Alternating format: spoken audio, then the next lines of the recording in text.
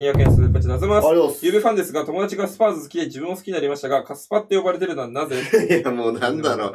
カスパは、う。もう、全チーム呼ばれてっから。そ全チーム呼ばれてう。っから。だけもうん。う、まあ、蔑称ではありますけども、なんか馴染んでるよね。馴染んでんの？全チーム言われてるから、そんな別にスパーズだけじゃねえから。ううんん。言うやつは言うし。そう。うん。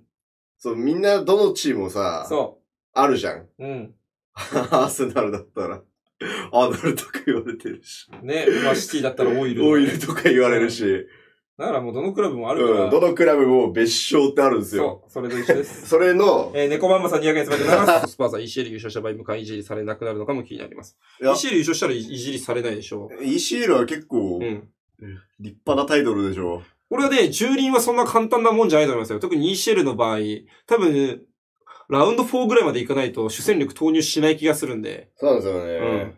だからなんか別に ECL にスパーズとかリバプールとか回ったとて、簡単に蹂躙できると思えないんだよな。まあ、それね、スタメンでずっと出し続けりゃ、うん、うん。できるかもしれないけどね。うんうんうん。